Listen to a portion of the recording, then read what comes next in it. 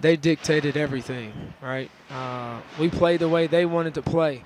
They they, they dictated the uh, the the speed of the game, uh, and we lost to a good team. We lost to a good team, and they, they were well coached. They were ready for us. They knew all of our calls.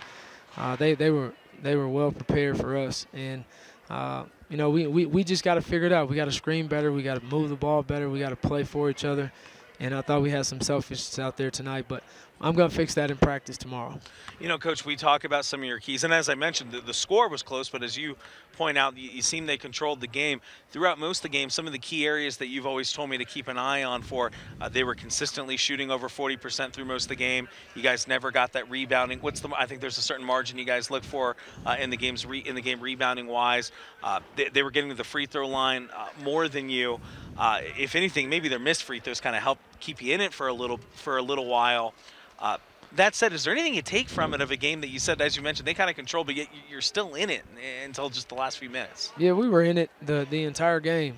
You know, we we were down three at halftime. Yeah. Uh, you know, it was it was it was a, a back and forth in score, but I, I on the sideline I, I felt like we were down 20 just because of our effort and, and our consistency. We, we didn't make shots, but we didn't take good shots. Yeah. And you know, we have 16 turnovers. Our goal is 10 we out rebounded them by nine. Our goal is is to out rebound the opponent by by eight, and they shot 46 percent.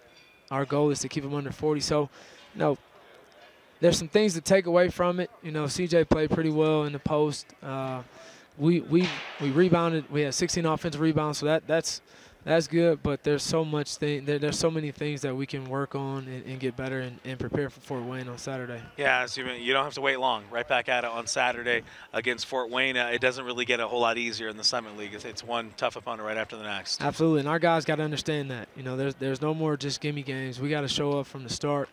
And that's that's the conversation I had in the locker room. You know, we, we can't give a team a whole half to just shoot their arrow at us before we start playing. We got to start from the from the beginning, from the tip off, and and we'll be ready for, for Fort Wayne. All right, well, we'll look forward to it, Coach. Thanks for coming on out. Right, we'll see you in Fort Wayne. There he is, head coach Rodney Billups following today's game. 75 69. Uh, South Dakota gets the win. Denver.